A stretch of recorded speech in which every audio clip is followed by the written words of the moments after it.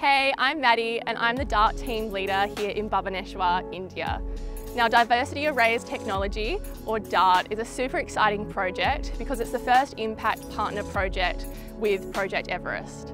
So an impact partner means that basically we're using technology which has already been implemented in the Australian agricultural supply chain and seeing if it could fit into India's supply chain, which is why we're here on the ground in Bhubaneswar. The mission for the DART project is to provide improved security and nutrition to the 475 million smallholder farmers across the globe which is why this project could have such an immense effect on the lives of so many farmers out there. We have been researching and empathising with the farmers to find out what their main problems are and at the moment we've found that the middlemen who transport the produce to the market are taking quite a lot of the money from the farmers. So this is a finding which has been popping up a lot of the time and something we're going to continue to investigate into the months to come.